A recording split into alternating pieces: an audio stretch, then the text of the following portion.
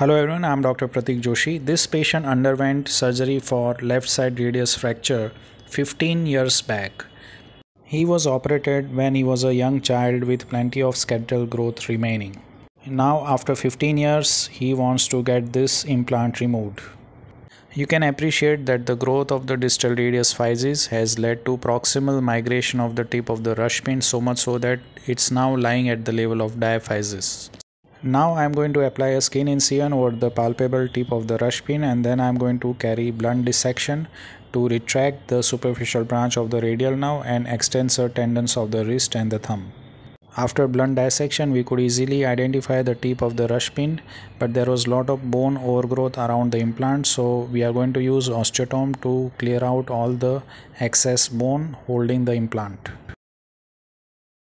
You can see that we are using a very small osteotome for this purpose because if we use a large osteotome there is a possibility of inadvertent damage to rest of the bone.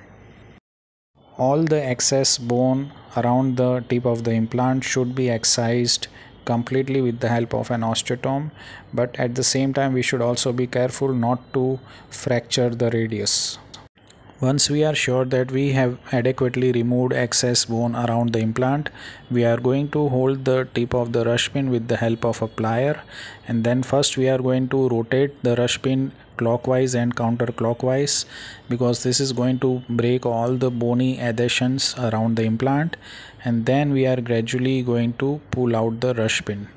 So we have removed the rush pin without any complications. Now we are going to give wash and close the wound in layers.